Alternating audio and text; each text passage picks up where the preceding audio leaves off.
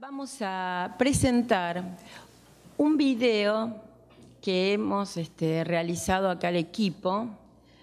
Eh, digamos, estuvo al frente de la realización eh, el licenciado Marcelo Peláez del Ministerio de Economía y Finanzas Públicas de la Nación.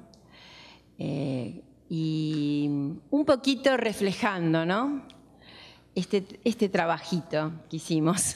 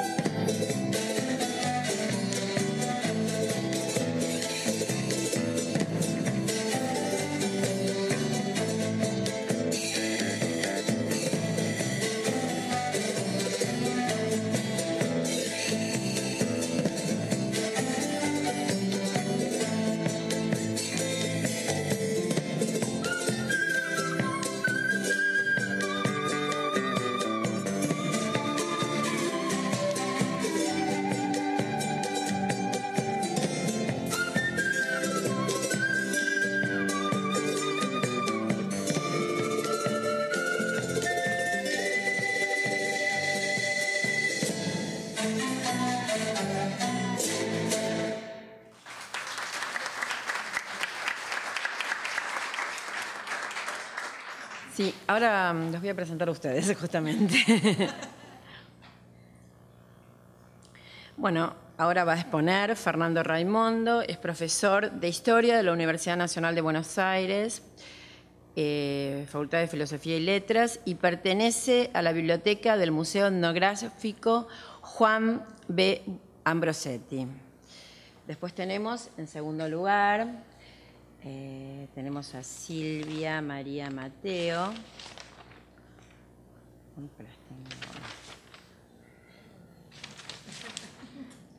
Silvia María Mateo es bibliotecaria a cargo de la Biblioteca del Museo de Antropología de la Facultad de Filosofía y Humanidades de la Universidad Nacional de Córdoba y participante en diferentes proyectos del museo referidos a digitalización y acceso abierto, profesora titular regular de la Escuela de Bibliotecología de la Escuela de Filosofía y Humanidades de la Universidad Nacional de Córdoba. Después tenemos en tercer lugar a Giovanna Recchia, estudió letras en la Universidad Nacional de la Patagonia San Juan Bosco, eh, trabajos suyos de investigación y reseñas han sido publicados en revistas especializadas y medios gráficos del país. En poesía tiene dos libros publicados, La Infinita, editorial universitaria de, de la Patagonia, y Pliegues, ediciones en danza. Y por último, tenemos a Juan Francisco Jiménez, Profesor y licenciado en Historia por la Universidad Nacional del Sur, se doctoró en la misma universidad, se desempeña como docente en la misma, en donde realiza tareas de referencista en el Centro de Documentación Patagónica de la misma. Eh, se especializa en historia de las sociedades indígenas de Pampa, Norpatagonia y la Araucaria en los siglos XVIII y XIX es autor de numerosos trabajos sobre el tema. En el año 2012 fue coeditor con el doctor Daniel Villar del libro Amigos, Hermanos y Parientes, Líderes y Liderados en las Sociedades Indígenas de la Pampa Oriental, siglo XXI, editado por el CEDOP y el Departamento de Humanidades. Bueno, lo dejo con los expositores.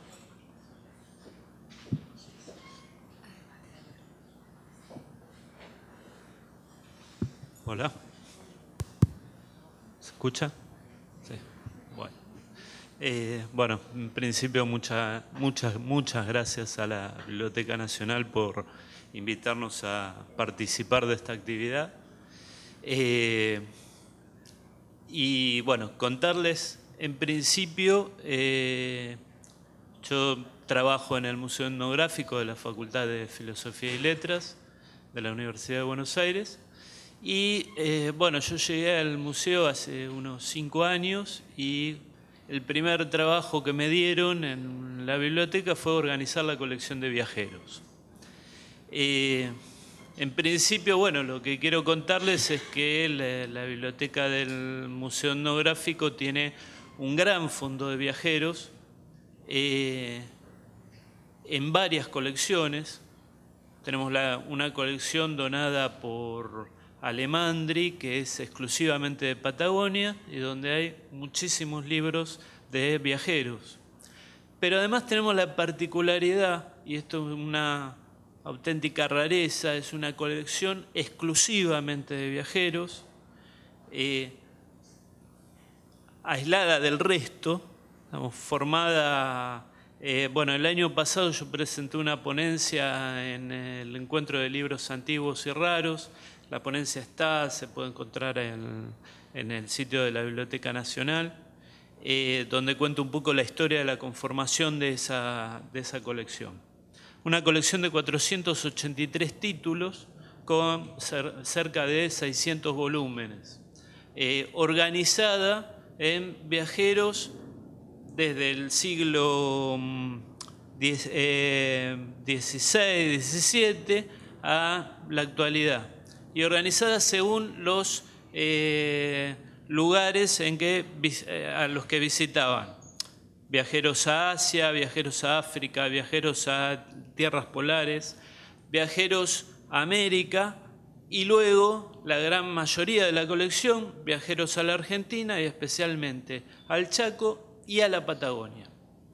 Dentro de los viajeros a la Patagonia tenemos un viajero en particular que se trata de George Claras, en realidad Jorge Claras, también eh, se llamado, que viajó, eh, hizo una exploración de las consideradas de las primeras exploraciones científicas a la Patagonia entre noviembre de 1865 a eh, marzo de 1866. Sin embargo, la primera publicación del diario de viaje de Clarás se realiza en el año 1988. Eh, y bueno, esta ponencia viene a contar un poco qué pasó en el medio. Eh, entre, y contarles un poco quién fue Clarás. Eh, existe una sola biografía de Clarás, por lo menos que yo haya encontrado, que es la del padre Hux, también suizo, eh, como Clarás. Clarás nació en 1832 en Friburgo, Suiza. Eh, falleció también en Suiza, en la ciudad de Lugano, en 1930, o sea, a los 98 años de edad. Eh, había estudiado ciencias naturales en la Universidad de Zúrich eh, especializándose en geología y en mineralogía, sin embargo tenía una formación mucho más amplia. Eh, pertenecía a una familia de clase media, de muchos hijos, lo que le permitió acceder a la universidad, pero también lo obligó en varias circunstancias, cuando la, situación económica no era favorable y en esos tiempos en Suiza las cosas no andaban muy bien, eh, que tuviera que dejar los estudios y ponerse a trabajar. Eh, la última vez que deja los estudios, eh, es en el año 1856, cuando su profesor y amigo Christian Hauser lo invita a realizar un viaje a Brasil. Eh, en ese tiempo en Brasil se habían instalado colonias suizas y había una denuncia de que esas colonias estaban siendo sometidas a malos tratos. El gobierno federal suizo le da la misión a Hauser de ir a controlar la situación de las misiones. Eh, que era un científico, eh, le dice a Claras, bueno, viajemos y aprovechemos para hacer distintas investigaciones científicas. Pero además venían a probar fortuna también. Entonces se dedicaron, estuvieron tres años en Brasil, eh, además de ir a visitar a las colonias suizas, Hicieron varias exploraciones científicas, entre ellas a Minas Gerais, donde estuvieron estudiando mineralogía, y después pensaron en continuar viaje a Chile. Para eso tenían que pasar por la Argentina. Cuando llegan a la Argentina, son tentados en las posibilidades económicas que existían en la Argentina. El primer trabajo ese se los da el gobernador Urquiza, deben viajar a la provincia de Entre Ríos, acompañar una colonia suiza que se iba a instalar en esos días.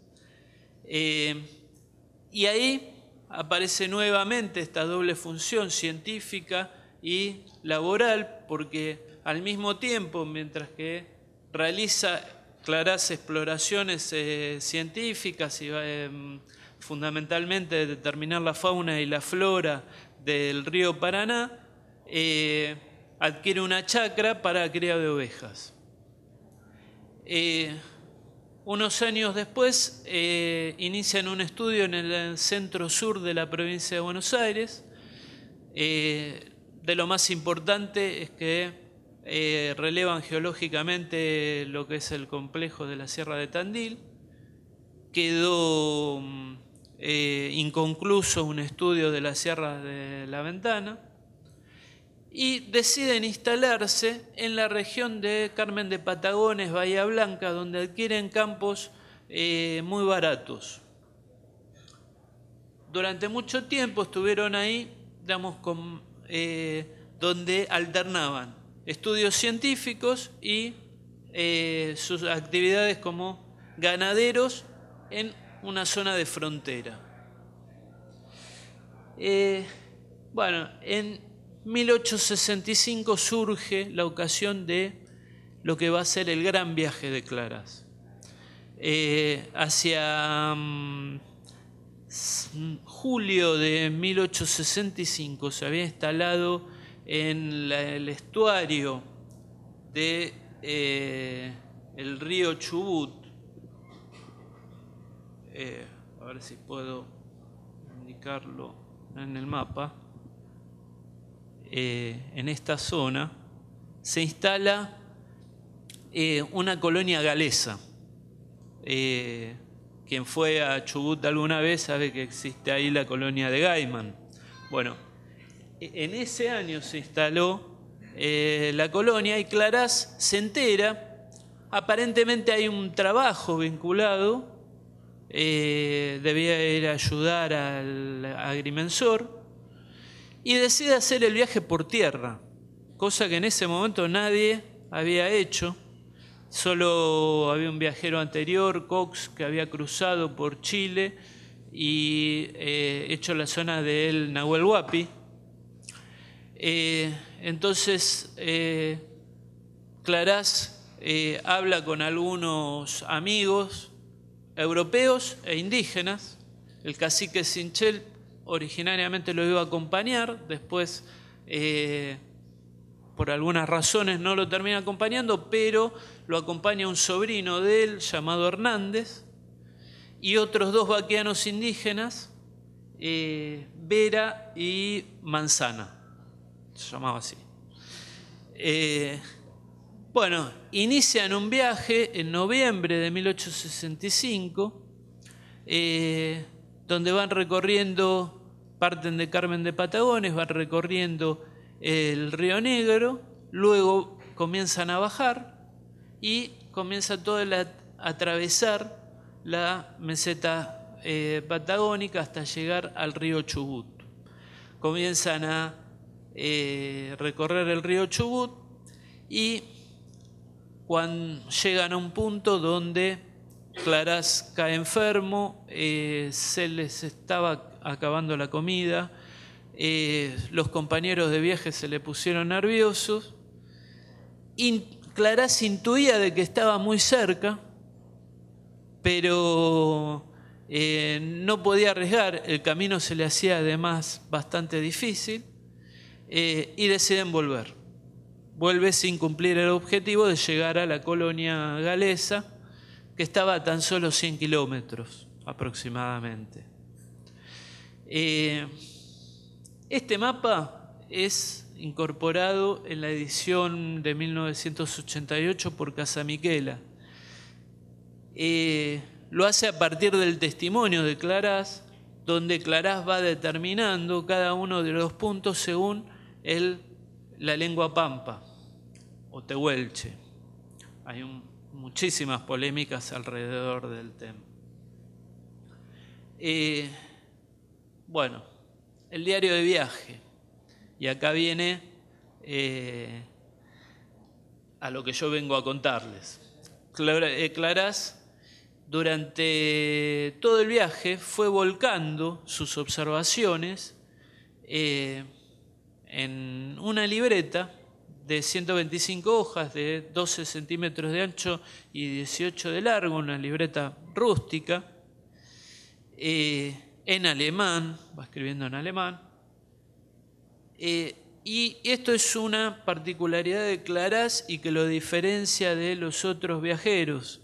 Clarás va, haciendo, va detallando por materia sus observaciones. Él va diciendo, día tal, bueno, observaciones geológicas.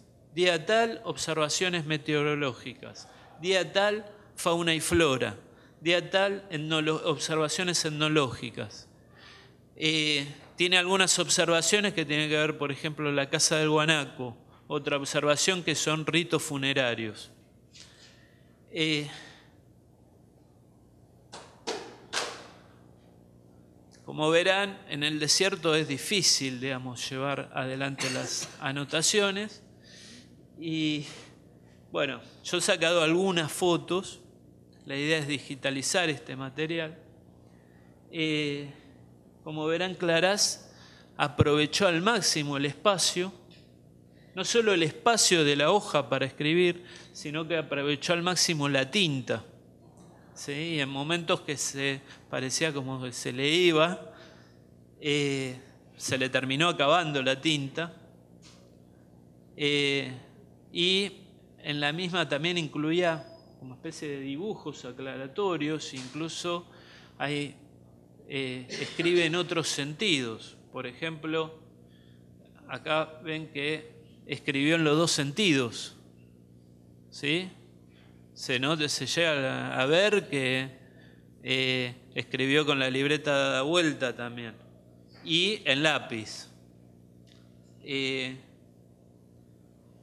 otra de las particularidades que tiene esta libreta y que él se fue tomando el trabajo de, si este es el frente de la libreta, con la libreta invertida, fue escribiendo un vocabulario pampa, lo llamó un vocabulario pampa, de 909 términos.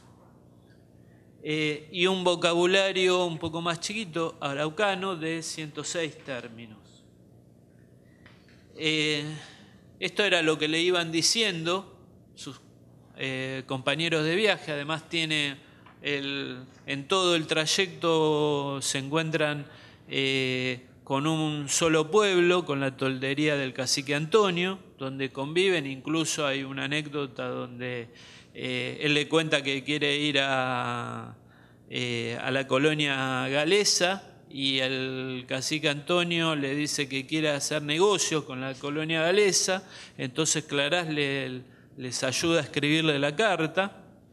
La carta finalmente llega a la colonia galesa y hicieron durante muchos años muy buenos negocios el cacique Antonio con la colonia galesa que exportaban eh, plumas de guanaco, que eran muy cotizadas en Buenos Aires.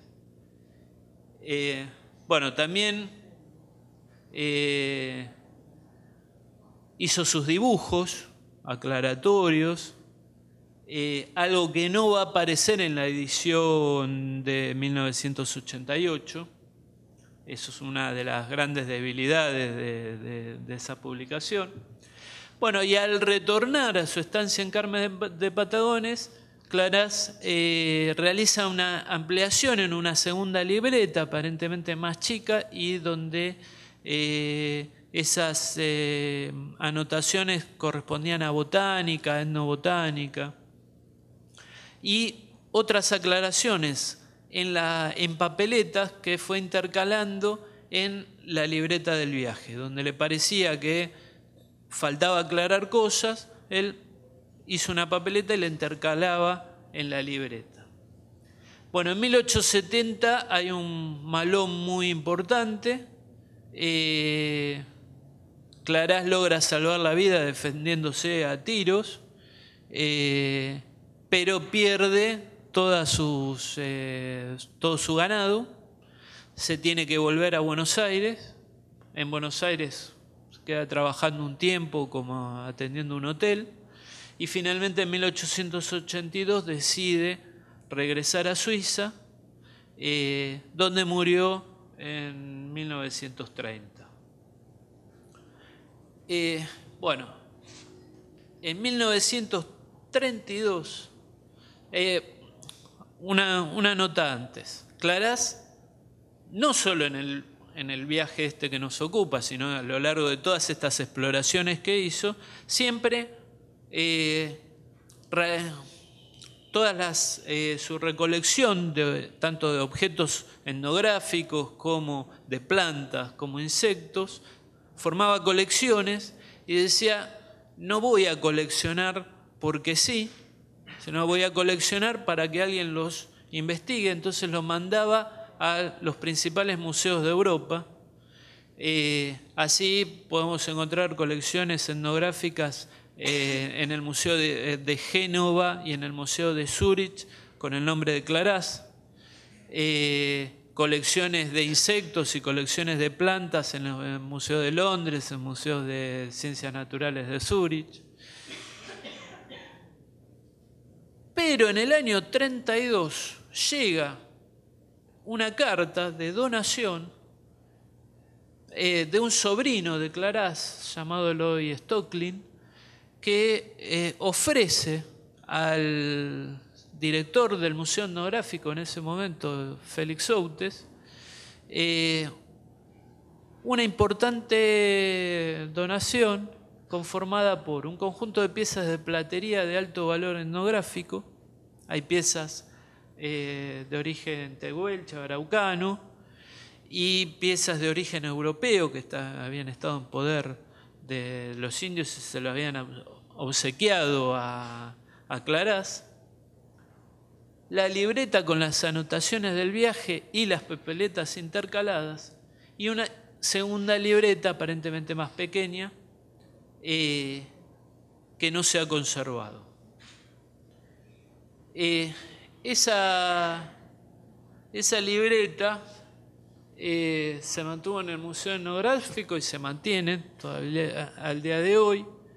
Eh, hubo, ya cuando el propio Outes recibe la libreta, eh, se encuentra con el material y dice, esto hay que publicarlo. inicia el intento de publicación, el primer intento de publicación. Hay varios investigadores que van a participar después. Por X motivos el diario no se logra publicar. Recién se publica en el año 88 en la edición de Marimar con un estudio de Casamiquela y con algunas traducciones de Hooks. Eh, y luego se vuelve a publicar en el año 2008 por eh, Continente, que es la edición que si alguien quiere conseguir, tal vez en, alguna librería todavía se puede encontrar. Eh, bueno, dos datos para cerrar. Eh, no sabemos por qué Clarás nunca publicó su diario en vida. Tal vez nunca lo quiso publicar, nunca fue su intención. no se sabe quién hizo la traducción. Se sabe que eh, posiblemente haya sido la secretaria de Outes eh, que sabía alemán, pero no se sabe mucho más. Eh, todas las, toda una serie de entretelones que se corren alrededor del diario de viaje lo pueden seguir a través del prólogo de, de Rodolfo Casamiquela o del epílogo del padre Hooks. Eh, pero bueno, es un diario que está abierto al debate. Bueno, muchísimas gracias.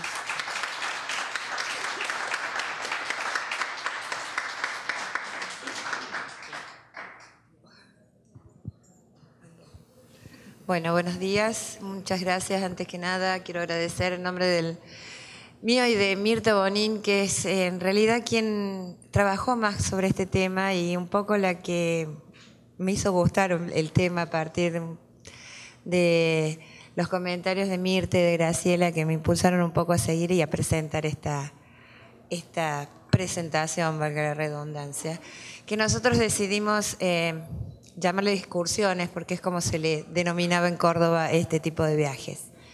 Bueno, eh, antes que nada les quiero comentar que el Museo de Antropología de la Universidad Nacional de Córdoba es uno de los 18 museos que tiene nuestra universidad. Es, eh, no porque esté yo, pero uno de los más importantes que tiene la universidad. En realidad es el único que está dirigido por una museóloga, que es Mirta Molín. Este, y bueno, es eh, un museo que me está haciendo replantear mi profesión de bibliotecaria y transformarme en una bibliomuseóloga eh, que me gusta mucho trabajar en ese lugar y casualmente, tal cual como el colega anterior, hace cinco años que trabajo en el museo, pero ya me, me dio vuelta la cabeza prácticamente. Después de 30 años de trabajar en una biblioteca universitaria con alumnos de grado, eh, pasé de golpe a un museo y me siento enteramente feliz y creo que voy a seguir allí hasta que me jubile. Bueno, Em, les aclaro que no es un tema que yo maneje mucho, eh, no es mi tema de investigación. Eh, en realidad yo trabajo mucho más con digitalización, pero bueno, en los procesos de digitalización que está emprendiendo el museo está incluido toda esta etapa. Eh, Mirta comenzó trabajando su tesis de maestría sobre el tema de la fundación del Museo de Antropología y todas sus colecciones fundadoras. Y bueno, esas se hicieron en base a viajes que em, hicieron los primeros eh, investigadores que formaron el antiguo Instituto de Lingüística eh, y Folclore y Antropología de la Universidad Nacional de Córdoba. Que en sí, eh, bueno, bajo la dirección entonces de Antonio Serrano se empezaron los primeros viajes que se hicieron al interior de la provincia de Córdoba para recolectar estas colecciones que pasaron a ser las colecciones fundadoras del museo y es particularmente estos viajes sobre el interior de la provincia de Córdoba, más que nada lo que voy a, comentarles. Bueno, estos viajes eran eh, de diferentes tipos, un poco arqueológicos, un poco folclóricos. Este, desde los primeros años em, Serrano empezó viajando por todo el país para tratar de armar un corpus, una colección que fuera la que diera origen al instituto. Y eh, en los primeros este, viajes lo acompañaba Juan Vialete Seira, también investigador del instituto. Em, Serrano comenzó trabajando con la antropología, pero después empezó sumando otro tipo de, material para el museo, eh, como la museología, la musicología, perdón. Eh, los viajes que se hicieron dentro de la provincia de Córdoba eran a lugares de difícil acceso, o sea, no era eh, un lugar de fácil acceso, ¿no es cierto? Bueno, em, eran fundamentalmente viajes de estudio y viajes de estudio y de recolección de materiales. Los viajes de estudio eh, podían incluir una asistencia a un museo, a una institución que se quisiera formar como museo para recolección de objetos, y analizar las colecciones de algunos de estos museos que estaban ya empezando a, generarse en el interior de Córdoba. Eh, los viajes de estudio y de recolección de materiales, además de estudiar las, em, las colecciones, también entrevistaban a diferentes personas sobre el quehacer de la comunidad, de la ciudad, del lugar, del pueblito donde se, se, radicaba o se asentaba este museo, que era quienes transmitían la tradición oral, o sea, era bastante de la cultura inmaterial, digamos, lo que se venía recolectando. Y toda esa recolección de, datos se hacía en libretas, que nosotros le llamamos libretas de campo, lo que podría ser un, este, algo parecido a lo que presentaba acá el colega. Estos son los viajes que se desarrollaron eh, a lo largo, bueno, no está muy son muchos. Este, no está muy, muy clara la, imagen, pero el cuadro. Eh, desde el año 42, o sea, fines del año 41, a partir de diciembre del año 41, nosotros tomamos del 42 hasta el 48, estos son todos los viajes que se han realizado eh, para la obtención de piezas de esta colección fundadora dentro del museo, del museo del instituto. Eh, hay muchos viajes a algunas provincias linderas de la provincia de Córdoba, como Santiago del Estero, La Rioja, Catamarca, Entre Ríos, pero en su gran mayoría son dentro de la provincia de Córdoba. Eh, más o menos por año, este es un fixture de viajes que se hizo durante los años 42 al 48 para la recolección de piezas y acá tenemos más o menos indicado por año cuántos viajes se hicieron. Este, del 42 eh, es un viaje, solamente un solo viaje de carácter arqueológico. El 43 tenemos ya tres viajes, 44 seis viajes, vamos subiendo. Este, 45 siete viajes, que fue el año que más se logró mm, viajar y se lograron subsidios para poder viajar. 46 47 y se termina en el 48 porque Serrano dispone que en el año 48 ya se considera consolidado el museo y a partir de ese momento ya no serían consideradas colecciones fundadoras.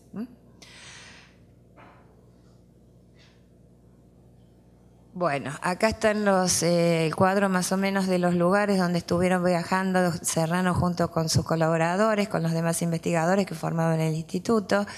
¿eh? Este, como ven, la mayoría de los viajes es dentro de la provincia de Córdoba. Eh, Catamarca tiene menos viajes, Santiago del Estero, bueno, casi todos dos viajes en, general, eh, salvo La Rioja que tiene un solo, un solo viaje. Bueno, eh, los viajes que se realizaban de carácter arqueológico dentro de la provincia de Córdoba y a otras provincias eh, se combinaban cenas, zonas de acuerdo al interés que y se iba manifestando de acuerdo a las investigaciones que se iban realizando y se iban sumando algunos investigadores, otros, algunos iban a un viaje, otros iban a otros viajes y así. Eh, otro factor de desplazamiento eran las eh, noticias que se recibían en Córdoba sobre hallazgos de determinadas colecciones en determinados lugares, hallazgos que se producían de carácter fortuito, o sea, no eran que se los iba a investigar, sino que pobladores de la zona para construir, este, bueno, iban encontrando algunas algunos restos y bueno, con esto se lo iba denunciando y el instituto era el que llevaba a sus investigadores y sus em, alumnos para poder hacer las excavaciones.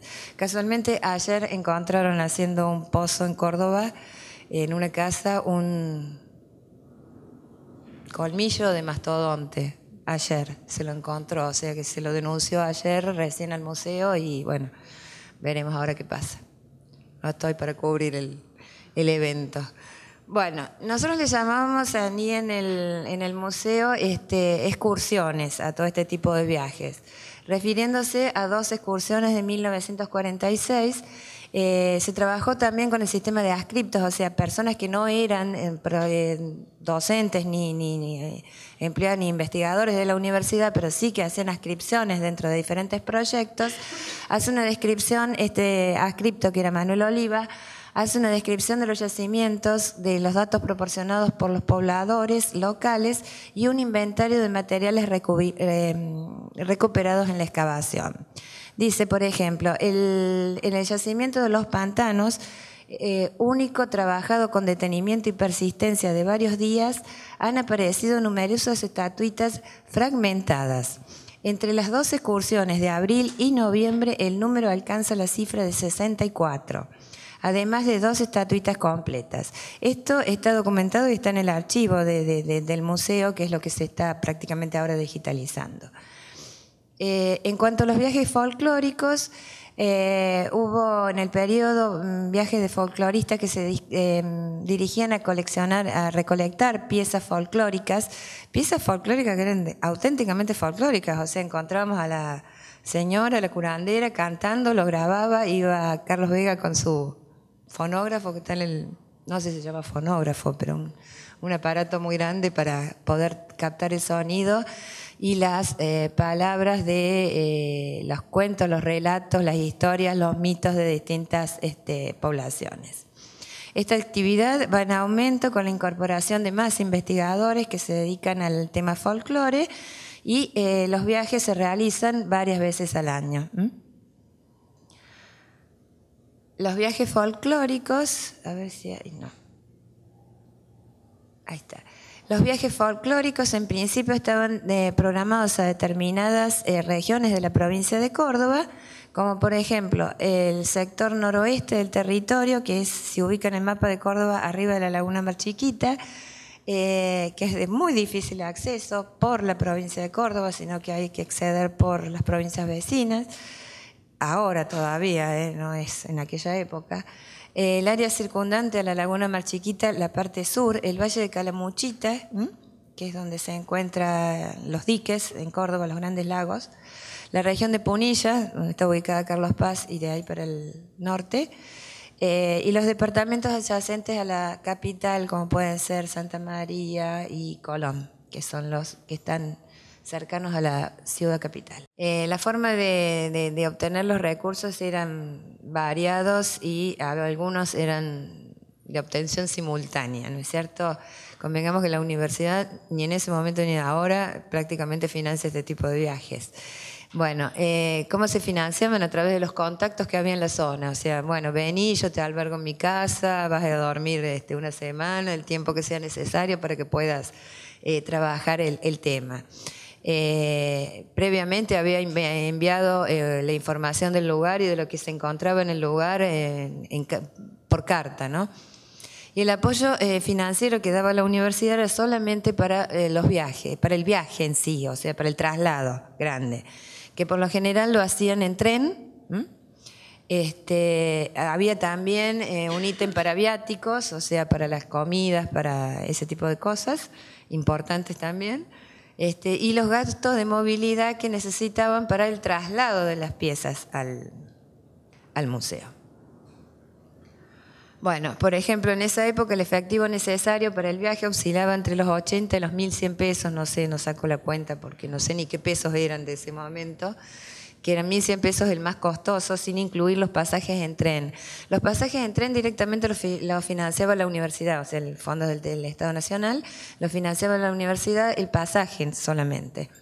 El director tenía una, o sea, Serrano tenía una dedicación full time y su salario en 1942 era de mil pesos. No sé a qué equivale en este momento. Los viajes más costosos eran, obviamente, los de adquisiciones de piezas arqueológicas. Las piezas arqueológicas cuestan, ¿no es cierto? Y había eh, subsidios para, perdón, eh, para poder adquirir estos materiales y poder trasladarlos. Obviamente, el traslado de los materiales también era costoso. Eh, también era tenía un costo la gente que trabajaba en las excavaciones, porque si alguien denunciaba una excavación hacía falta un grupo de personas entre los entendidos, que eran quienes daban las instrucciones, digamos, cómo excavar con el cucharín, con el pincelito, no romper, no, no destruir el entorno para que la pieza pueda ser estudiada, y la gente que en realidad era la que cavaba, o sea, el serrano que cavaba el pozo, el serrano de las serranías, no don serrano. Este, bueno, los objetos criollos que se adquirían en el medio rural eran de menor costo porque sí, en cierta forma los folcloristas iban con los grabadores y bueno, grababan y cómo se podía medir o evaluar el costo de ese, de ese tipo de producción era como más dificultoso. Las, eh, las, vías de transporte que había en, en ese momento dentro de la provincia de Córdoba, bueno, fundamentalmente era el ferrocarril, eh, que unía los principales pueblos y ciudades, eh, y si no, había que viajar a mula, a lo mula, a caballo y en camiones. Lugares donde no se podía acceder había que hacerlo caminando. Durante los años eran comunes las huelgas, algo que todavía perdura en el tiempo, huelgas de transporte. O sea que eh, también eran un problema, esto que demoraban a veces un viaje, lo hacían mucho más extenso, con lo cual significaba un mayor costo. Había escasez de combustible, eh, pero por razones obvias, porque en ese momento era prácticamente la Segunda Guerra Mundial, o sea que bueno, había escasez de combustible, escasez de materiales para el traslado y demás. Este, y bueno, y era bastante frecuente que la gente desde allá, no sé de qué manera, avisara, nos vamos a demorar una semana más, con lo cual se encarecía también el, viaje, ¿no? Salió el mapa, casualmente. Cuando lo probamos hace un rato no estaba el mapa, ahora apareció el mapa de golpe. Bueno, este es un mapa de la provincia de Córdoba, de la República Argentina, digamos, de transporte del ferrocarril del Estado. Esta es eh, más o menos la zona a ver, acá está Córdoba, este es el ferrocarril que va, el actual tren de las sierras, eh, si alguno conoce la provincia de Córdoba, es el trencito que va rodeando el lago San Roque, eh, que es el que va para Cruz del Eje, y ahí después se va para La Rioja. No sé en la actualidad qué, línea de ferrocarril es. Eh, y este es el otro ferrocarril que va de Anfunes, que es el Central Córdoba, el ferrocarril Central Córdoba, que es el que también utilizaba eh, para hacer los viajes. Acá estaría la laguna más chiquita, más o menos, sobre esta zona. Estas eran las zonas que ellos recorrían, esta zona y esta zona. Esto es tras la sierra, o sea, si se ubica en el mapa de Córdoba, acá tenemos un gran problema que son las sierras grandes. Todavía no estaba hecho el camino de las altas cumbres, o sea que había que caminarlo o cruzarlo a Loma de Mula. Acá no había ferrocarril por ese problema, porque estaba el, las altas cumbres cordobesas. Bueno, eh, un punto crítico en la organización era siempre la logística, o sea, cómo organizar el movimiento de estos viajeros hasta, hasta estos lugares para poder cumplir con un cronograma específico para la recolección de, datos y de piezas arqueológicas, implicaban mm, un gran desplazamiento en los lugares y bueno, como ya lo dije, la dificultad de hallar caminos, huellas y demás. Y con el tiempo se hizo eh, necesario la permanencia eh, de más tiempo en estos lugares, en estas excavaciones, con lo cual hubo que comprar un equipamiento especial para... Apágale flash, que me lo está... Perdón. Este, eh, que mm, se hizo eh, necesario comprar un equipamiento especial para poder albergar a la gente durante las excavaciones o los viajes de campo. Todo este equipamiento está en el museo todavía, o sea, la carpa, eh, el camión no, se destruyó, pero este, la carpa y todo lo que habían comprado para hacer estas excavaciones están. Eh, la preocupación de Santiago, de Serrano, ante la inminencia de la realización de un trabajo de, Carlos, de campo de Carlos Vega, para hacer un el relevamiento museológico era la forma en que tenían que llevar ese eh, fonógrafo hasta los lugares. Era una pieza muy sensible que necesitaba un cierto embalaje, bueno, y se pidió un traslado a la Dirección Nacional de Vialidad, un camión a la Dirección Nacional de Vialidad, y bueno, ahí está la nota que contesta el director de Vialidad que no puede ofrecerle el, el camión solicitado por el señor Vega y bueno, le pide que por favor el rector de la universidad que no recuerdo quién era en ese momento, este, haga los trámites acá en Buenos Aires para poder obtener un medio de transporte para poder llevar todo el equipamiento de Vega para que haga el, la investigación que estaba por, por realizar. Esto es en 1942. Bueno, eh, los envíos, ¿cómo se hacían los envíos? O sea, era muy lindo, todos vamos para allá, recolectamos las piezas y ahora los tenemos que llevar a Córdoba. Bueno, el colector tenía que embalar en el terreno, eh, procurar el transporte de las piezas, no era lo mismo, ya no necesitábamos el camioncito ese chiquito que tenía el museo, sino... Eh, necesitamos un camión a veces de más porte, ya termino, este, y bueno, había que embalar las piezas, eh, acompañarlas en algunos casos y en otros casos, bueno, iban las piezas solas, pero en algún lugar de Córdoba había que ir a buscarlas. Eso también necesitaba eh, apoyo logístico, ¿no es cierto? Bueno, acá hay algunos de los envíos este, realizados y de los avisos, de las cartas que mandaba Serrano desde los lugares donde se encontraba hasta la universidad para que eh, reciban determinada carga. Los informes de los viajes, bueno, los informes también están contenidos en libretas de campo en el museo, en el archivo del museo. Este, se realizaron este, libretas, hay libretas muy importantes con toda la narración de todos los vicisitudes que tuvieron que sufrir en muchos, de estos viajes. Este, la mayoría son manuscritos, están prácticamente de la misma forma que acá nombraba el colega, las libretas escritas de cualquier manera, eh, con poca tinta, lápiz, eh, pero gracias a Dios se, nos han, se han conservado y están este, también dentro del museo.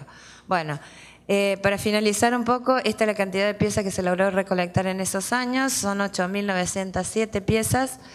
Eh, del total están exhibidas, estaban exhibidas en esa época en el museo 3.557 eh, y no exhibidas 5.350, o sea, nosotros en este momento no tenemos exhibida ni la mitad de lo que está exhibido, de lo que está en ese momento.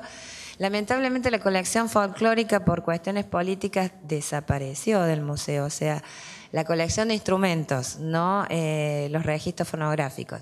Pero la colección de instrumentos, bueno, hubo un desmanejo en un momento con la disolución de los distintos institutos de la Facultad de Filosofía, alguien regaló los instrumentos así, porque era elegante regalar los instrumentos.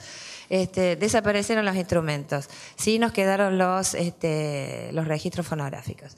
Em, cuando el museo, cuando se disuelve el instituto y se crea el museo propiamente dicho, autónomo de, cualquier instituto, este, bueno, ahí pasan todas las piezas arqueológicas al museo, o sea que eh, en realidad es bastante lo que ha quedado y lo que ha sobrevivido en el museo.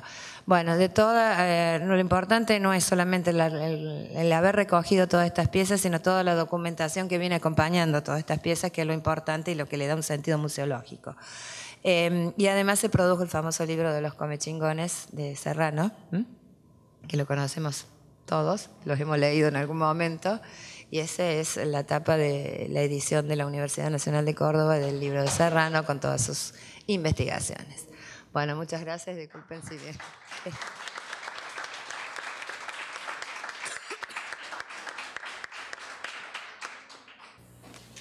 Muy buenos días. Agradezco inmensamente la posibilidad de estar aquí. Yo voy a leer una ponencia eh, sobre Hacia los Andes, un libro de viajes de una, em, de una galesa que realizó un viaje dentro del territorio argentino de, eh, desde el valle del río Chubut hasta eh, la cordillera es parte de, un trabajo más extenso en el que trabajo también con dos poetas, eh, pero bueno, acá elegí traer esto que es justamente un libro sobre viajes.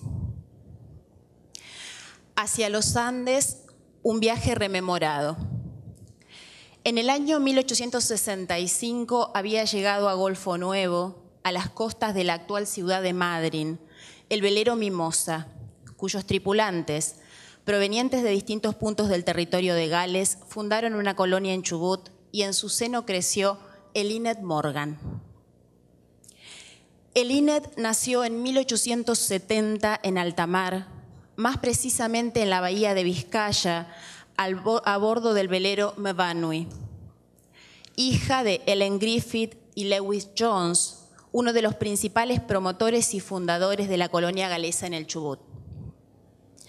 El seudónimo literario con el cual se conoce Morgan significa en galés canto marino. Decía el poeta galés Will Evan en el poema al cual tituló Elined, hija del mar, y cito, ¿Quién es el dueño de la doncella Elined cuyo canto es tan profundo? ¿Acaso Gales o la querida Patagonia? Y el mar contestó, ni Gales ni la Patagonia. Yo, el mar, soy el dueño de la doncella. Yo y mis innumerables olas. Según plantea el catedrático galés Win James, Elinette Morgan se crió en un periodo en el que se produjo un nuevo movimiento romántico y también nacionalista en Gales. De hecho, una de las principales influencias literarias para Elinette Morgan fue Owen Edwards, figura principal del movimiento neorromanticista en Gales. Así lo describía ella en una carta escrita en 1899. Cito, él es mi ideal de todo lo que es galés, puro, elevado. Él es mi maestro literario y desearía vivir rendida a sus pies. En 1904 se publicó en Gales Hacia los Andes, primer libro de la autora que es el relato de un viaje desde el valle del río Chubut hacia la cordillera. Escrito originariamente en galés y traducido por Irma Hughes de Jones al castellano, y compuesto por 14 capítulos. Comienza con un breve prólogo en el que Morgan utiliza imágenes de una naturaleza productiva para construir una metáfora positiva de su vida en la colonia, además de plantear los móviles de escritura. Cito, son mis amigos los responsables de la aparición de Hacia los Andes. Lo que yo quisiera sería recluirme como un ermitaño en algún recoveco de la cordillera, no molestar a los lectores de Gales. He recolectado miel y flores suficientes para endulzar la vida entera y mis amigos dicen que debo repartir las dulzuras. Pero las flores se marchitan en un viaje tan largo, el zumbido de las abejas pierde su musicalidad en la región desprovista de sol, la miel pierde su frescura y debido a ello es que con mucha humildad ofrezco esta parte tan poco digna de aquel banquete tan generoso. Fin de cita se plasma así una reflexión acerca del proceso de reconstrucción escritural de un viaje, mediada por el tiempo y por la distancia. Lo que tuvieron de positivas esas experiencias se ha esfumado, se ha marchitado, pierde su musicalidad. Morgan es consciente de la artificiosidad de su relato y lo expresa. Sabe y advierte que a partir de ahí todo va a ser una reconstrucción en el primer capítulo se incluye la descripción de una catástrofe natural y es de señalar que es el relato de circunstancias posteriores al viejo viaje narrado. En otras palabras, Morgan nos introduce en su viaje ubicándonos en un valle devastado por las inundaciones, imagen que es un año posterior a su viaje a la cordillera y alrededor de cuatro al menos de la escritura. Utiliza, por lo tanto, un interesante recurso temporal que puede leerse como deliberada construcción de sentido. El viaje que realiza hacia los Andes y en apariencia desde la devastación, tal como lo plantea Fernando Williams en su obra Entre el desierto y el jardín, cito, la destrucción provocada por la inundación de 1899, a partir de la cual Morgan construye la escena de la colonia galesa del Valle del Chubut como tierra asolada, además de resonar como una sombría confirmación del fracaso de la colonia, constituye un recurso que dentro del texto autoriza primero un éxodo en pos de mejores horizontes y consagra, en definitiva, un retiro total del mundo de los hombres. Consideramos, sin embargo, que la autora resignifica la desgracia y es por ello que recurre para estructurar su obra a una estrategia discursiva que nos introduce como lectores en un valle ordenado y próspero sobre el que se desata una lluvia torrencial y por consiguiente una inundación. Le preocupa además que el caos reinante en la colonia del Chubut haya tomado estado público en Gales lo que se manifiesta en el primer párrafo del capítulo inicial. Cito, algo más de cuatro años ha, las columnas de los periódicos de Gales estaban llenas de relatos de las devastadoras inundaciones ocurridas en la lejana Patagonia. Quizá no todos conocen lo estrecho del vínculo que une a Gales con la Patagonia, pero sucede que en uno de los fértiles valles de aquella extensa región habitan más de 3.000 galeses que han fundado una colonia galesa a orillas del río Chubut y con anterioridad al arribo de las aguas del diluvio, aquel tranquilo valle constituía un ejemplo de lo que la perseverancia y dedicación del galés pueden realizar en tierra extraña. Este primer capítulo será una modesta tentativa de describir al valle como era antes y después del diluvio. Fin de cita. El valle que Morgan deja atrás al viajar es ya un valle en proceso de reconstrucción. Sin embargo, la arquitectura, la estructura del texto, nos permite el equívoco de considerar que el viaja desde la más absoluta destrucción hacia lo sublime que es la cordillera y ella misma ha planteado el perfil de su lector ideal, los jóvenes de Gales. La idea es ver por qué apunta a los jóvenes de Gales y por qué les cuenta un viaje. Cabe preguntarnos entonces qué funciones desempeña en la obra este procedimiento de construcción del relato del viaje. Y consideramos aquí que son dos fundamentalmente. Uno, dar pie a la autora para exponer el incentivo de su propia operación de escritura, sirve por ello como reflexión metaliteraria, en tanto, aunque brevemente, se expone el desastre como origen de una necesidad de evasión. Y otro, intensificar el valor de la cordillera como paisaje, en tanto se parece al de Gales y es refugio que contrasta con cualquier posible imagen de desolación. Nos interesa fundamentalmente hacer hincapié en la operación metaliteraria mencionada, ya que nos permite considerar no solo su concepción sobre la producción poética, sino sobre todo su perspectiva acerca del viaje mismo. Para ello hay que centrarse en el capítulo 2, después del diluvio. La autora plantea en este segundo capítulo algunos de sus objetivos, en los que se hace claramente manifiesto que se considera una casi obligada correspondencia entre las maravillas del paisaje y la trascendencia vital humana. Una vez planteada su situación como viajera y expresado sus sensaciones ante la dimensión virtual del viaje, Elinet considera su posible papel de cronista. Ella dice, se trata de una narración de un viaje de placer a la región de las montañas.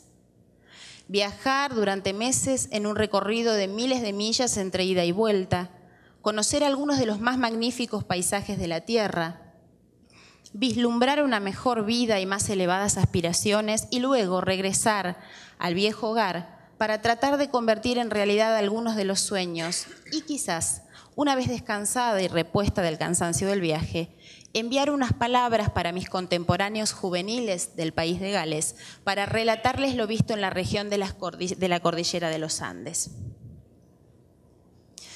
Pareciera que el viaje determina en ella la consecuente obligación de narrarlo. Y, en este sentido, tal como afirma Fernando Williams, debe tenerse en cuenta el particular posicionamiento sociocultural de la autora dentro de la colonia. Era hija de Lewis Jones, líder indiscutido, indiscutido perdón, de la colonia galesa. Así, constituirse en cronista de su viaje, recordarlo y reconstruirlo es una tarea insoslayable, ya que según creemos es lo que le permitirá construir un imaginario de la colonia en Patagonia que eluda o revierta al menos la imagen de devastación que publicó, que dice que se está publicando en Gales.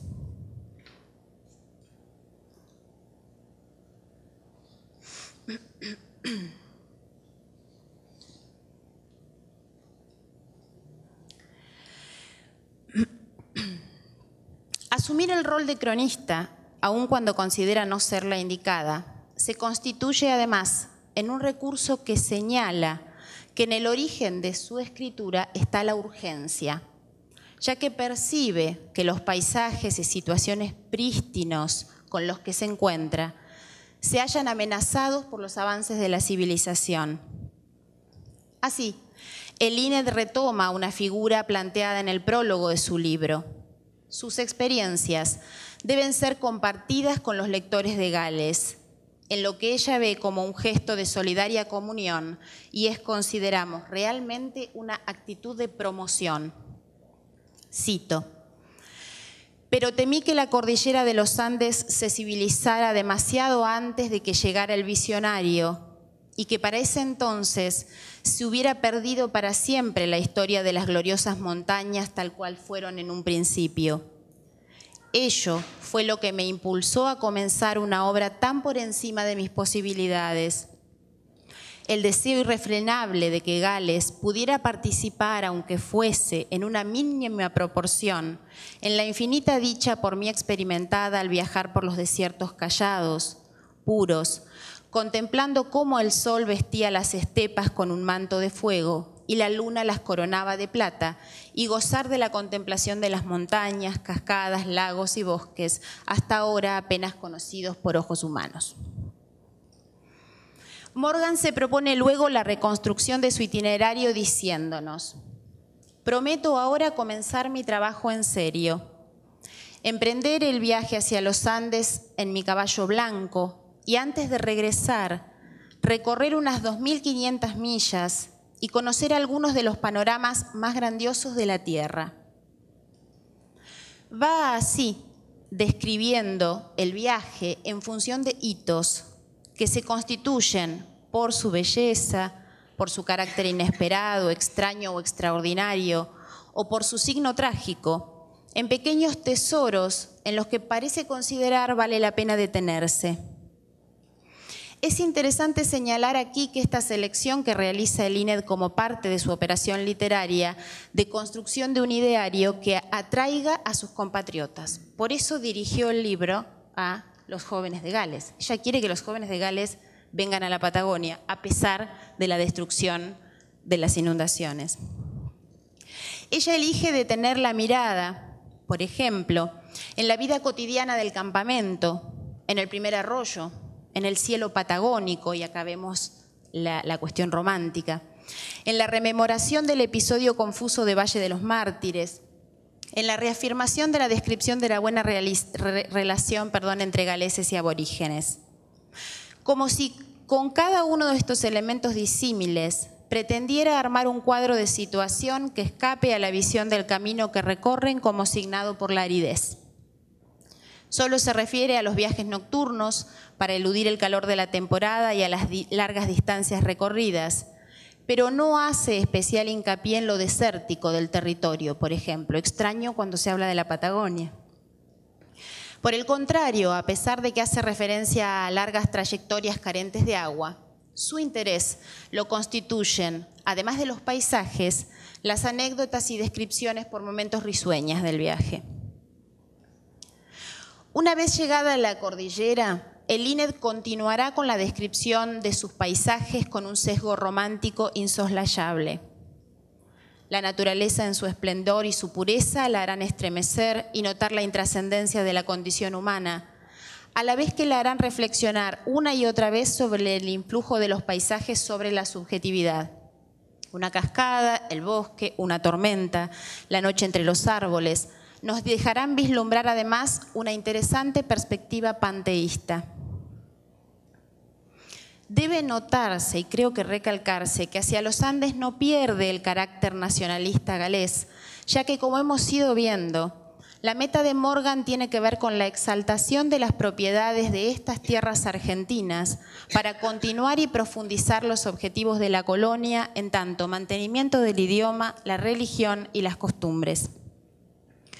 En este sentido, el texto de INED y su operación de rememoración de un viaje es fundamentalmente política, ya que apunta a la construcción de un ideal, aún y sobre todo a pesar de la adversidad planteada en un principio con las inundaciones, que actúe como imán para nuevas generaciones de pobladores galeses del territorio patagónico. Morgan reconstruye su viaje para propiciar otros viajes que alejen a los suyos de los males que atentan contra Gales, como ella misma dice, el imperialismo inglés y la avanzada de la civilización, de la industrialización, perdón.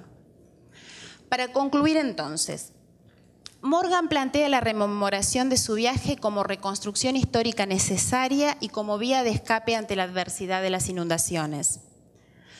Sin embargo, consideramos aquí que si bien puede leerse desde las determinaciones del romanticismo, así lo leen en Gales, de hecho, podemos ver que en él se despliega una clara estrategia de promoción, tal como puede leerse en los párrafos metafóricos del último capítulo, Adiós, que en consonancia con los que se incluyen en el prólogo al que hicimos referencia, expresan, cito, la colonia 16 de octubre es un pequeño jardín. La colonia 16 de octubre es lo que hoy es Trevelin, si, si conocen la cordillera de Chubut. La colonia 16 de octubre es un pequeño jardín plantado en el extremo de Sudamérica. Qué excelente oportunidad que hay allí para un hábil obrero que se dedique al cultivo de robles, matizando a todos los valles cordilleranos con los gigantes de la tierra crecerían gloriosamente en el suelo tan feraz, y al llegar alguna tormenta para poner a prueba su firmeza, solo alcanzaría a hacer caer las bellotas maduras y con ello contribuir a su mayor difusión y arraigo.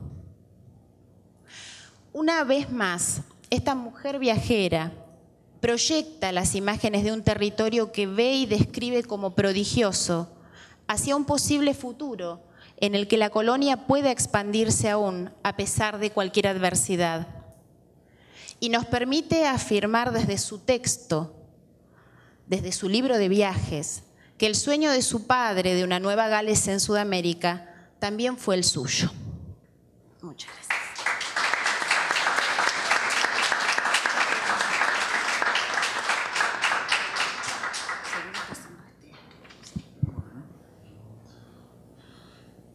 ¿Sigo yo? ¿Se me escucha bien? No, está bien. No estoy acostumbrado al micrófono, así que voy a intentar hacerlo sin él. Si no me escuchan, volver al micrófono. ¿Puede ser? Bueno, eh, ¿qué diferencia de...? Bueno, primero quiero empezar agradeciendo a las autoridades por, por la invitación. Y segundo voy a empezar a marcar una pequeña diferencia. ¿sí? En general, para el siglo XVIII y XIX, cuando se habla de viajeros, siempre se piensa en europeos o criollos que se adentran en territorios este, no controlados por la civilización, territorios hermanos de los indígenas, corriendo graves riesgos por parte del paisaje o de los pobladores, y que una vez que regresan a casa describen sus experiencias. ¿sí? Eso en realidad para el siglo, los siglos XVIII y XIX es parte de la, de la realidad. Lo cierto es que en los siglos XVIII y XIX esta definición deja fuera a los indígenas. Existían para, en la región pampeana viajeros de, eh, nativos provenientes de la Araucanía, ¿sí? que regularmente visitaban la región con fines comerciales o fines rituales. ¿No se me escucha? Bueno. A ver ahora. ¿Sí? Bien. Entonces, eh, retomo donde dejé. Eh, estos viajeros eh, en general tienen, eh, eran, mm, es una categoría, yo no voy a, hablar, voy a, hablar, de un viajero en particular, sino voy a hablar de una categoría social. estos viajeros de origen mapuche recibieron un nombre que es Nampulcafe. Nampulcafe es el, plural del, para referirse a viajeros, Nampulcán es para referirse a un viajero individual. En general eran comerciantes que venían desde la Araucanía chilena a visitar las tribus indígenas que estaban instaladas en la región pampeana y eh, traían objetos de comercio, textiles, lanzas, harinas, opiniones y llevaban eh, ganado o platería. Esta información se le proveyó a Ceballos, eh, el cacique Namucurá, en una serie de notas etnográficas que tomó Ceballos. ¿sí? El Nampulcafe es eh, el, era una figura central dentro de su comunidad porque eh, primero conectaba su comunidad con mundos distantes para obtener objetos que se necesitaban. Y segundo, era una persona que en sí misma reunía muchas habilidades y muchos conocimientos. Fíjense, para viajar a la región pampeana se necesitan al menos tres niveles de conocimientos que tenían que ver con tres tipos de dificultades a sortear. En primer lugar se necesitaban lo que los criollos denominaban vaquilla, ¿sí? que es la capacidad de orientarse, de elegir la mejor ruta posible y para ello se necesitaba eh, una gran cantidad de información geográfica. Era necesario vencer lo que se denomina la fricción del terreno. La segunda condición que tenía que reunir un ampulcafe, un ampulcán, era eh, una habilidad diplomática. Era necesario lidiar con un paisaje muy fragmentado políticamente, donde no había una única soberanía que controlara eh, la paz de la zona y garantizara la seguridad de los viajeros. Y finalmente, y no menos importante desde la perspectiva indígena, era necesario un conocimiento ritual muy avesado. Desde la perspectiva mapuche, el territorio está controlado por una serie de seres sobrenaturales y para atravesar los terrenos que controlan estos seres sobrenaturales es necesario un conocimiento ritual muy este, profundo que garantice eh, la buena voluntad o, obtener la buena voluntad de estos seres este, sobrenaturales. Así que como vemos, una sola persona reunía tres tipos de habilidades muy, muy complejas. Eh, en primer lugar, respecto a la geografía, los Nampulcafes se diferenciaban de la gente del común por la vastedad de sus conocimientos. Mientras que un indígena común eh, eh, conocía muy bien el territorio en los alrededores donde vivía su comunidad, podía conocer las rutas, los obstáculos geográficos, la naturaleza del terreno, el Nampulcafe conocía eso en una escala mucho más vasta. Tenía una gran cantidad de información geográfica que incluía topografía, rasgos típicos de diferentes paisajes, distribución de eh, vegetales, pasturas, eh, eh, distribución del agua, del agua en la zona, agua superficial o agua de napa, y distribución de los ríos, los vados necesarios, y las condiciones más adecuadas para moverse dependiendo de una época del año o de la característica que tenían los años. ¿sí? Para poner un ejemplo, Luis de la Cruz, que fue un viajero chileno que atravesó la Pampa en 1806, fue capaz de reconstruir todo el sistema hidrográfico del centro-este de la región argentina en base a la información que le proveyeron tres de estos viajeros. Y eh, esta reconstrucción fue tan eficaz que fue capaz de eh, disipar muchos errores geográficos que tenían este, en la cartografía colonial.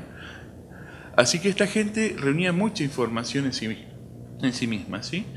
¿Cómo hacían para manejar esta información? Bueno, había tres mecanismos posibles. El primero era el de la observación. ¿sí? Esta gente eh, viajaba y acumulaba información y sistematizaba esta acumulación de una manera que asombraba a todo el mundo. Eran capaces de describir con mucho detalle eh, rasgos del paisaje en lugares que, eh, de regiones muy amplias, como ya dije. ¿sí? El segundo mecanismo que tenían, fíjense, el paisaje tiene rasgos que son fijos o elementos que son fijos y elementos que pueden variar. No es lo mismo moverse en la región pampeana en una época, diríamos, de un año lluvioso, donde el agua superficial es mucho más abundante, que moverse en un, año seco. Esta, esta parte variable del paisaje era necesario manejar, eh, em, tenerla en cuenta a la hora de viajar. Hay que tener en cuenta que todos estos viajeros se movían a caballo. ¿sí? Cada viajero necesitaba entre 3, 4, 5 animales este, para moverse y más allá los animales de carga. Eh, el caballo les dio a los indígenas, diríamos, ciertas posibilidades, pero también ciertas servidumbres a la hora de moverse.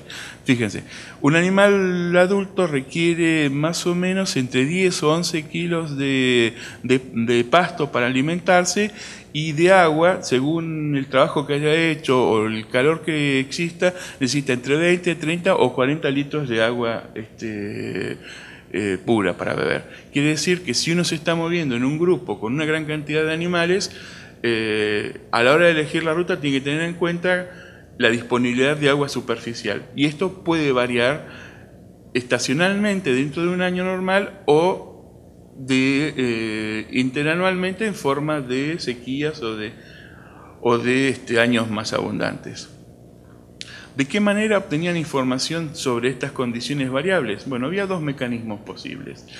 Uno era interrogar a otros viajeros, ¿sí? los mapuches tenían una serie de protocolos muy, muy específicos a la hora de encontrarse dos viajeros. Eso incluía un diálogo ritual, que en general a los viajeros europeos les resultaba molesto porque no entendían la lengua, era muy prolongado y se aburrían. Todo el mundo que leyó a Mansilla este, puede reconocer el enfado que tenía Mansilla por la ceremonia de bienvenida que se le hizo en Lebucó. Lo tuvieron casi todo un día en un ritual que él no entendía pero era vital para los indígenas, porque en ese diálogo ritual se codificaba mucha información. Cuando le preguntaban a alguien cómo le había ido en el viaje, cómo le había ido con sus animales, ahí se, podía describir información sobre estado de las pasturas, estado de las aguadas, enfermedades disponibles. Esa información era copiada rápidamente por los entendidos. ¿sí? La otra manera de obtener información eh, era establecer una red de eh, corresponsales. ¿Sí? Cada uno de estos viajeros tenía en la región pampeana una red de parientes, aliados y amigos rituales cuya obligación era mantenerlo informado. Cuando alguien decidía hacer una ruta, envió un mensajero por las rutas posibles, por los trayectos posibles y obtenía toda la información necesaria sobre las condiciones de las pasturas, las condiciones de las aguadas y mucho más esencial sobre lo que sería el paisaje social, si había conflictos o no, si, la ruta era segura o no. ¿sí? Entonces habíamos visto primero el control de, eh, del territorio y ahora vamos a ver el manejo del paisaje social. ¿sí? Fíjense, estamos hablando de una región muy amplia con una multiplicidad de soberanías. Quiere decir que el viajero que quisiera atravesar la región se veía obligado a garantizar su propia seguridad. Obviamente hay dos mecanismos posibles. Uno, reunir muchos viajeros en una gran caravana e ir armados, pero eso tenía dos dificultades. La primera es que un grupo numeroso y armado despertaba mucha suspicacia. Y la segunda es que la mejor manera de moverse en este paisaje no es un grupo numeroso, sino un grupo pequeño, porque un grupo numeroso agota muy rápidamente las fuentes de agua, las fuentes de pastura. Entonces la lógica indígena para desplazarse es cuanto más pequeño mejor. Entonces, eso tenía un problema, porque lo que facilitaba moverse en el paisaje físico dificultaba el problema del paisaje social. Un grupo pequeño, además de comerciantes llevando objetos valiosos, despertaba los apetitos de cualquier este, persona con intenciones hostiles. La manera de eludir el conflicto era generar una red de aliados a lo largo de las rutas. Los mecanismos para eh, establecer eh, esta red eran variables. En primer lugar, las alianzas matrimoniales. ¿sí? Un sujeto podía, o un, varios individuos podían establecer alianzas y por lo tanto un sujeto podía encontrar afines a lo largo de toda su ruta que garantizaran su seguridad, le, le otorgaran, diríamos, este, hospedaje y todo ese tipo de funciones. Pero obviamente esta, esta, posibilidad tiene una limitación que es la limitación biológica. No todos los viajeros tienen mujeres en disposición de, cambiar, de, ser, diríamos, eh, intercambiadas. Entonces, el segundo dispositivo era más importante que era eh, fabricar parientes rituales. ¿sí? Eh, los mapuches ya históricamente y aún en la actualidad tienen varios dispositivos que permiten la ampliación de la alianza hasta la generación de un amigo ritual. Nosotros eh, este trabajo, me olvidé de aclarar algo, eh, parte de lo que estoy eh, describiendo ahora lo he desarrollado en colaboración con este otro docente de la Universidad Nacional del Sur, que es el doctor Sebastián Aliotto. ¿sí? No todo esto es mérito mío. Los defectos sí. Bien. Los mecanismos que nosotros pudimos identificar fueron dos. Uno es eh, lo que se denomina eh, el conchutún, que es el establecimiento de lazo entre dos sujetos por el intercambio de comida. ¿sí? La comensalidad en su forma ritual es una de las maneras más comunes de generar alianzas. Alguien que decide tener un socio le entregaba un cordero a alguien, lo sacrificaban, lo comían juntos y al año siguiente el otro se lo devolvía y mientras mantuvieran ese intercambio de dones, establecían una relación de concho. Las obligaciones de estos dos sujetos eran variadas. En primer lugar, eh, cada uno de ellos se comprometía a alojar al otro cuando visitara su reducción o su, su territorio. La segunda es que el concho se, se convertía en garante de la seguridad del viajero en su territorio. Y la tercera, que es mucho más importante, se obligaban mutuamente a, eh, mantenerse, informa a mantenerse informados de todo lo que, lo que, ocurría en el territorio. Entonces, cada Nampulcafe tenía una red de corresponsales en todo el territorio que le permitía eh, decidir la ruta a seguir. ¿sí? ¿Me quedan cinco minutos? Uf, muy bien. Vamos a la última característica, que es la habilidad ritual. Esta es un... La información disponible sobre, esta, eh, sobre este aspecto es, es, muy, es, más, es muy fragmentaria, vamos a decir. Eh, en primer lugar hay que tener en cuenta la cosmogonía mapuche. ¿no? Los mapuches suelen creer en un mundo en siete capas. ¿sí? Hay un mundo subterráneo que está controlado por las fuerzas del mar, el mundo real donde viven los seres humanos, los animales, las plantas, y coexisten fuerzas del bien y fuerzas del mal, y hay una sucesión de eh, una capa del mal siguiente y cuatro capas del bien. ¿sí? Cada uno de estos eh, mundos está, está ocupado por distintos entes. En el mundo de los humanos, como ya dije, coexisten seres eh, sobrenaturales que son hostiles a los humanos y seres sobrenaturales que son neutrales o benéficos para los seres humanos. Ellos tienen la noción de gen o dueño. ¿sí? Hay dueños que son dueños de los bosques, dueños de los lagos, dueños del agua, dueños de, un, de un punto especial de un terreno, dueños de las, de las, de sierras, pero hay dueños que son que controlan puntos específicos del espacio. ¿sí? Cuando un ser humano ingresa a este espacio, debe hacerlo de una manera correcta, es decir, con respeto, con el ritual adecuado, porque de no hacerlo, el dueño se le va a volver hostil y lo va, diríamos, este, le va a hacer daño. La existencia de esta misma creencia al este lado de la cordillera también tiene su origen en creencias nativas. ¿sí? En la literatura hay varios puntos conocidos. ¿Ustedes conocen, ¿oyeron hablar del árbol del Gualicho? El árbol que estaba, eh, bueno, lo visitaron Darwin, Dorbigny, en la travesía que existía entre Carmen de Patagones y el río Colorado. Bueno, eso es, eso es controlado por uno de los dueños. Dorbigny eh, eh, dice que el ser espiritual que controlaba esto recibía distintos nombres para los distintos grupos de la región. Los, tuelchos, los tehuelchos lo llamaban Achacanac, Canek, los mapuches los denominaban Huecufu y los grupos y los puelches, que en grupo local, los denominaban Gualicho. Como los que más visitaban el lugar eran los puelches, el nombre le quedó, el árbol quedó como árbol del Gualicho. Todos los viajeros europeos que lo vieron describen el mismo ritual. No se puede acercar nadie en forma, diríamos, este, rápida, hay que hacerlo lento, hay que hacer una oración y hay que dejar una pequeña ofrenda. Eh, ninguno de estos viajeros describe qué le pasaba, ninguno de estos, eh, Dorbigny ni Darwin, describe qué le pasaba al indígena que no hacía eso. Mencionan que todos los indígenas eh, realizaban esta ceremonia. Por suerte existen, existen testimonios de dos o tres árboles más de esta característica. Este era un algarrobo. Cerca del río Colorado, digamos en la actual, en la actual ubicación del pueblo de Río Colorado, de la ciudad de Río Colorado, existía otro, árbol de gualicho que era un caldén. ¿sí? Y en medio de la pampa existía otro tercer caldén que fue eh, descrito durante la expedición Racedo. ¿sí? Al oficial que vio este árbol le describieron qué es lo que le pasaba al indígena que se burlaba del árbol. ¿sí? La historia es así. Un indígena que se negó a hacer la, la ofrenda necesaria y empezó a tener mala suerte. En su primer viaje se le, rodó, el caballo, el caballo que tenía rodó y se le quebró el cuello y lo dejó a pie en medio de la nada. Pero en un segundo viaje donde iba con su hija, su hija se enferma y muere.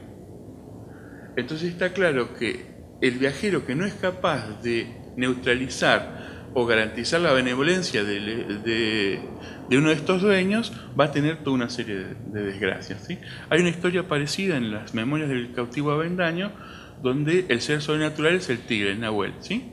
Nueve, nueve indígenas tienen que atravesar un bosque controlado por un tigre y el ritual decía que eso no se puede hacer de noche, porque era una falta de respeto.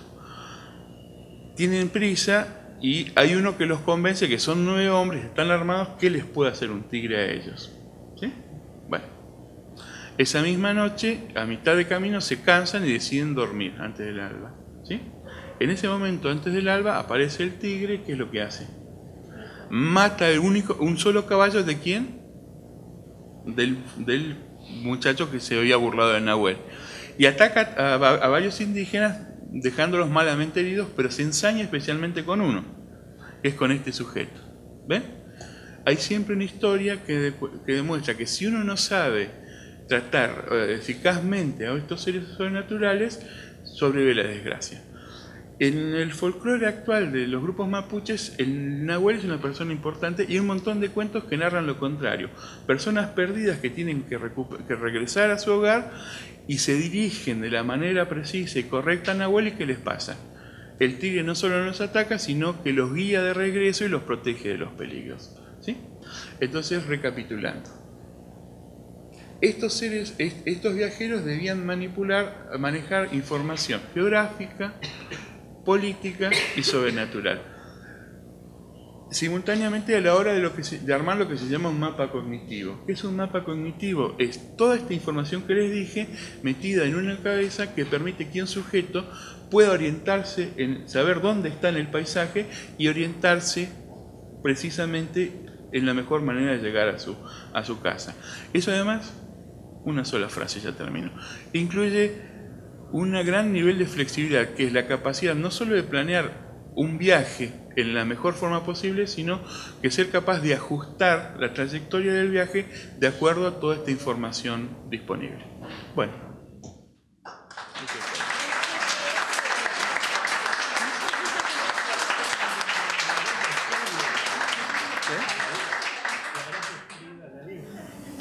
Es otro de esos sitios.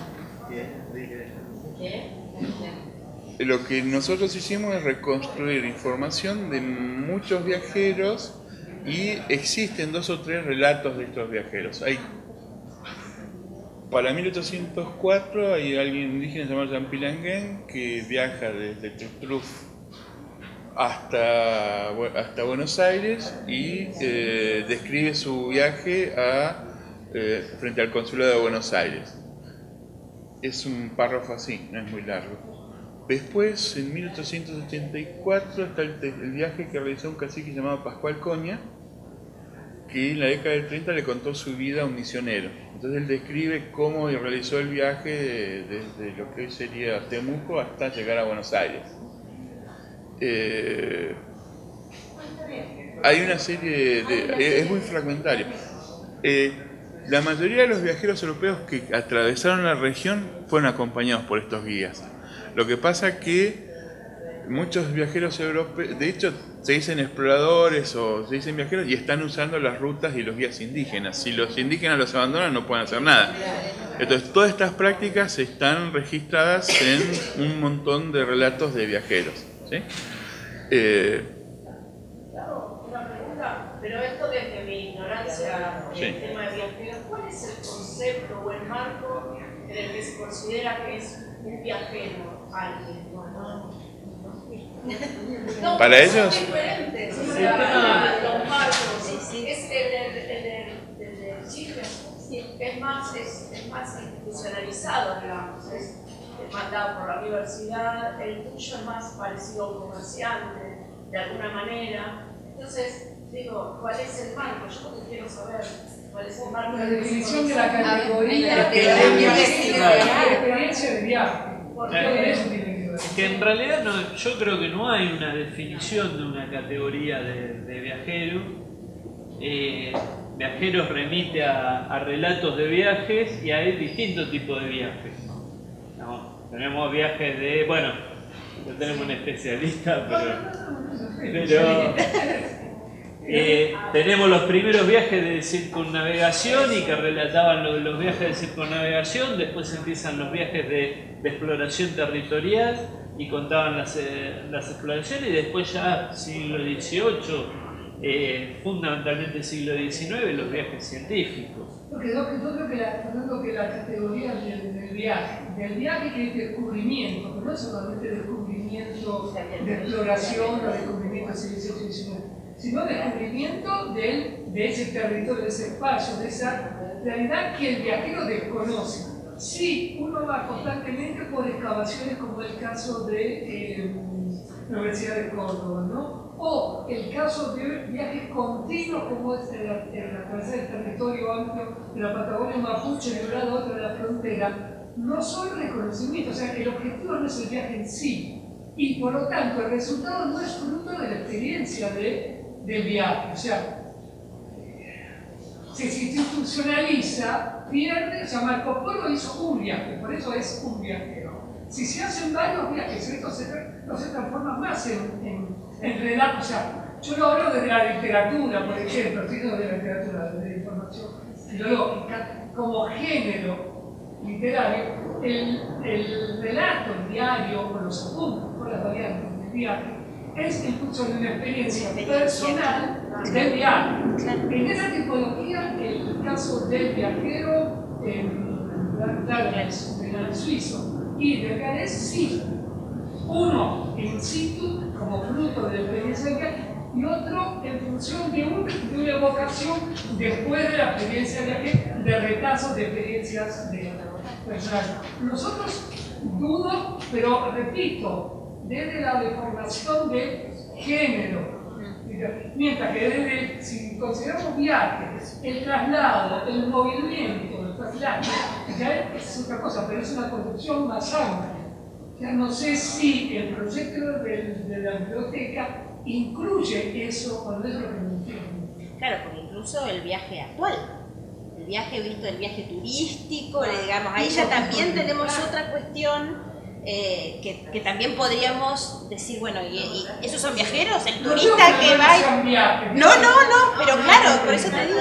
Porque si no, no va a poner acá que el otro ya tenemos que largar. Y conmigo también es como de la ignorancia más eh, increíble. Cuando se habla de tigre en nuestra fauna, Sí. era asimilado a qué? Al jaguar, Félix Sonsa. Al, Jaguar, Félix Sonsa. a, al jaguar. ¿Sí? Perfecto. El territorio del jaguar llegaba hasta el actual río Colorado. Ahí está. Y la otra cosa es, ¿puedes repetirlo por el nombre? viaje? ¿Cómo? Nampulcafe. Nampulcan. Perfecto. La otra pregunta, así. Hay un texto, si le interesa, hay un texto de un autor chileno, Álvaro Bello, que describe la experiencia de los Nampulcafe del siglo XIX. Sí. ¿Sí? Muy bien. Y la otra es para Silvia. Silvia, muy interesante su, su charla porque realmente nos puso, eh, nos permitió imaginar más concretamente los costos y todo lo que involucra una expedición. Pero ahora desde el punto de vista bibliotecológico te pregunto, eh, los, en la Universidad de Córdoba, los archivos de la administración de la universidad, será el área administrativa, secretaría académica, área cultural, tienen conexión con, porque imagino cuando uno de estos investigadores hace pedido, con marcha tal, de larga vista tal, todo eso, ¿dónde no queda normal? Digo yo, ¿hay algún contacto? ¿Se piensa en digitalizar, en informatizar el material histórico de la administración, en el caso de ustedes? A ver, eh, la Universidad de Córdoba cumplió el año pasado 400 años. Yo creo que nos quedamos con los 400 años, nos quedamos cortos. El archivo histórico de la universidad es fundamentalmente administrativo, el archivo de la universidad es fundamentalmente administrativo. Eh, lo único que maneja son, eh, lo único que maneja, lo único que contiene este, este repositorio es el archivo común de resoluciones. Claro, pero es interesantísimo. eso. Después, eh, cuando la universidad empieza a ser nacional, allá con la periodo de la reforma, digamos, este, cada facultad ya se transforma en pequeños feudos. Eh, en ese momento no sé, no me acuerdo precisamente cuántas facultades tenemos. Y la facultad de filosofía es una de las más nuevas dentro de lo que es. eh, Ya tuvimos dos divorcios dentro. Yo dos divorcios nuevos dentro de la Facultad de Filosofía. Dentro de la Facultad de Filosofía, a su vez, hay una serie de institutos. Y cada instituto es el que mantiene su propio archivo. Yo me, me planteaba, a ver, el valor de un poco siguiendo la idea de la institucionalización de esto, pero es increíble, la- yo lo veo desde, bueno, yo trabajé en el Ministerio de Economía, teníamos la Biblioteca de Obras Públicas, teníamos y están en el Archivo General de la Nación expedientes con los pedidos de autorización de los viajes que nombrabas. Es probable. Sí, No, sí, sin duda. Claro, sin duda, de algún lado están. Claro, Eh, pero el asunto es de repente. Yo creo que lo, lo- lo más difícil que tenemos ahora para hacer los bibliotecarios, los archiveros, porque trabajamos bastante en conjunto con los archiveros, es tratar de relacionar toda la información que hay. O sea, eh, cosa que venimos peleando hace rato, es relacionar a través de un campo en una base de datos este, todos los documentos relacionados que surgen de- desde un, desde un mismo documento. Después la podemos seguir. Me interesó el tema.